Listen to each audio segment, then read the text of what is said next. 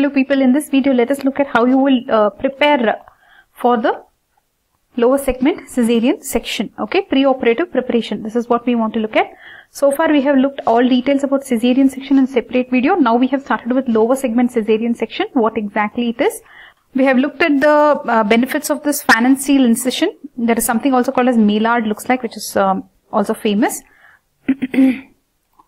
So then what is, this is the abdominal incision. Once you are done with the abdominal incision, you will uh, do a lot of uh, dissection and then you would go to the uterus. When you reach the uterus, you will make incision on the uterus where this is lower segment cesarean section. So on the lower segment of the uterus, you will either make a transverse incision or a vertical incision or a J-shaped incision. That's what this book says. But most common, you would just remember transverse incision. Okay. And then why do you do a transverse incision? What are the benefits of a transverse lower segment incision? This also we have looked at in the previous video. Basically here in this, uh, the bladder injury or you, you won't reach the upper segment. You don't want to reach the upper segment, isn't it? Uh, but uh, when if you extend this, you, you may touch the uterine arteries. That's the only thing. Uh, otherwise, you will mention all other things like uh, less blood loss or uh, adhesions are less, reperitonization is complete, muscle apposition is good, closure is good, right? scar dehiscence and scar rupture in future pregnancies is also less cosmetically appealing. So a lot of things you will say. Now coming to um, the pre-operative approach, which is the uh, main part of this video, guys. So basically, you will take an informed consent from this patient that yes, we are going to make a, a cesarean and it should be from her consent. So informed consent means what? You know all this so that in her own language you will explain the benefits, risks, etc. Then uh, you will take permission not uh, just for the procedure, you will take permission for the anesthesia, for the blood transfusion if needed, etc. Then the abdomen is scrubbed with soap or non-organic iodide lotion. So basically your uh, povidone iodine etc. So basically you're scrubbing the uh, abdomen. Okay, any hair is clipped. Remember this word, it's clipped. Hair is not shaved. It is clipped so that you don't um, make any cuts on the skin, right? Then premedicative sedative must not be given. There's no sedative here that they're talking about. Then non-particulate antacid is given orally before transferring the patient to the theatre. This is standard things that you know, right? You don't want aspiration pneumonia, is it? Why are you giving an as, uh, antacid? So you will neutralize the existing gastric acid. Ranitidine is given why ranitidine is the whole purpose is this acid only, right? So let's put this here. Ranitidine is a H2 blocker, right? Basically, if you understand, first they are giving ranitidine, okay. This is given previous night, etc. to raise the gastric pH. What this will do, this will make it more basic or it will be less acidic. Then sodium citrate or something they're giving orally before transferring the patient to the theatre. So if there is any existing acid that should get neutralized, okay. Now, the stomach should be emptied if necessary by a stomach tube emergency procedure. Uh, basically for all surgeries, they will ask the patient to not, uh, you know, come fasting. Basically early mornings they'll do these procedures. But if it's an emergency procedure, they'll put a stomach tube and empty the stomach contents looks like. Metoclopramide they are giving. Why are they giving this? Basically lower, lower esophageal sphincter. They want to increase the tone. So I'm thinking they don't want any aspiration of this acid from the stomach, right? Uh, then uh, basically they don't want any thing coming out of the stomach it could be either you can consider as vomit or you can consider as aspiration. You don't want both of this. Okay. So when are you giving this metoclopramide? Uh, about 3 minutes of pre-oxygenation. After about 3 minutes of pre-oxygenation, no, I don't think so much details uh, we need, but you should remember that you don't want uh, any stomach contents coming out. Metoclopramide, um, which is what? Metoclopramide is what? It's a dopamine antagonist actually. Let's just note that here. Dopamine antagonist. Okay. Next, let's move on to this side. Yes, how's it going? What are we looking at? We are looking at uh, how do you prepare the woman for a cesarean section. So, uh, bladder should be emptied by a Foley's catheter which is kept in place in the perioperative period. So, uh, whenever you have seen cesarean sections, you have seen that a Foley's catheter will be there in the bladder because they don't want the bladder in the place. They are trying to push the bladder down and cut the lower segment of the uterus. Okay, but uh, I think if the bladder is emptied before the surgery, what about that? That also will be done anyways. FSH, fetal heart sound should be checked once more at the stage. So before you cut the woman, check again fetal heart uh, rate. Okay, uh, then neonatologist should be made available.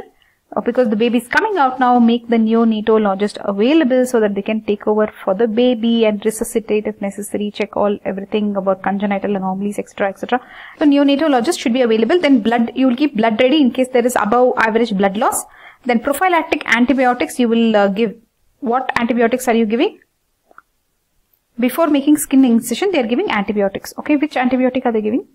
Just remember cefazolin. Okay cefazolin 1 gram once they can give okay? But this is an all not absolutely required they are saying. Antibiotics will just keep a sterile environment okay? Just remember this uh, why are they giving this um, antacid? To prevent aspiration pneumonitis. This is also called as Mendelson Mendelson syndrome. Okay it's what is it? Aspiration pneumonitis. Okay. We are still looking at uh, other preoperative things. So basically you'll uh, secure an iv cannula isn't it? You want to administer iv fluids like ringer lactate 5% dextrose etc uh, what will be the position of the patient? Patient will lie supine. Guys as simple as that. There is they're just using complicated words here just say that patient is supine but you will uh, put a wedge under the right hip so that you can move the patient a little to the left their left uh, tilt towards their left so that there will be no compression of the vena cava okay? So how will you put? They will put where will you put the wedge? Under the right hip.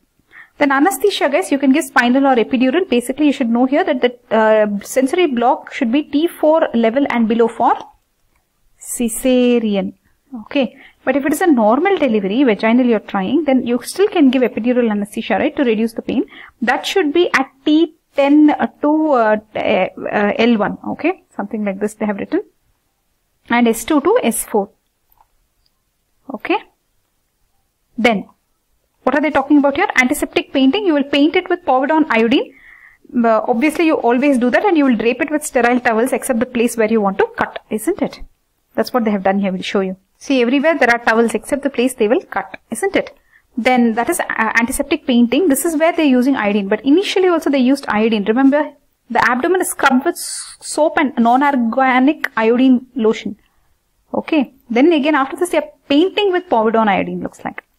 Right? Yes. 7.5% povidone iodine. Right? Then in anesthesia itself there's one more word here that is regional anesthesia. Okay, that is neuraxial. So did you understand all the preoperative things that you're doing?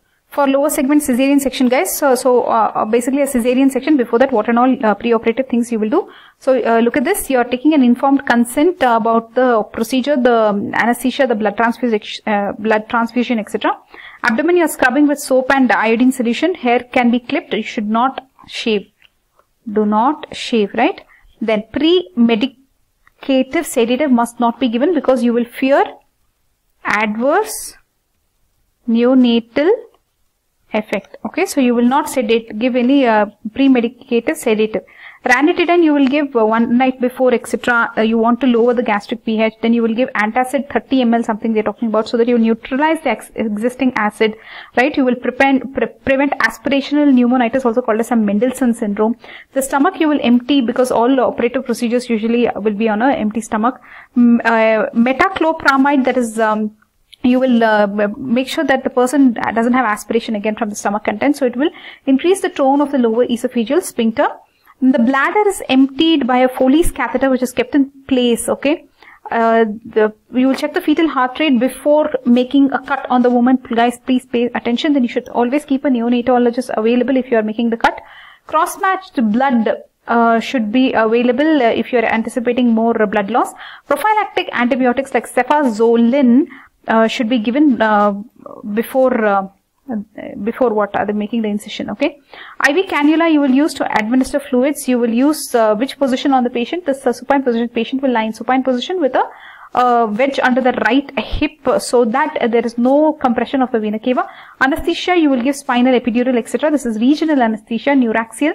Sensory block you should give T4 level and below for cesarean okay then antiseptic painting, uh, you will paint it with, uh, you will paint the abdomen with point, uh, 7.5% povidone iodine.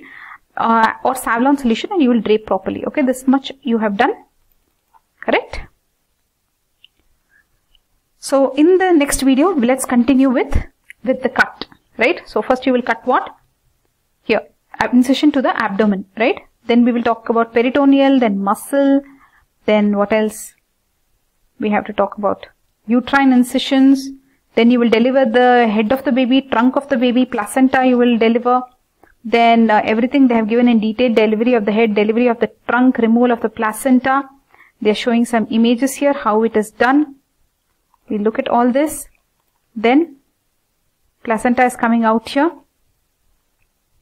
then further how will you suture back the wound that you have created that will be suture of the uterine wound we have to look at that then post-operative care how will you care for your uh, uh, cesarean section uh, post cesarean first uh, 24 hours then day 1 day 2 day 3 day 4 day 5 then after day 5 or day 6 they are discharging the patient okay? We look at all this.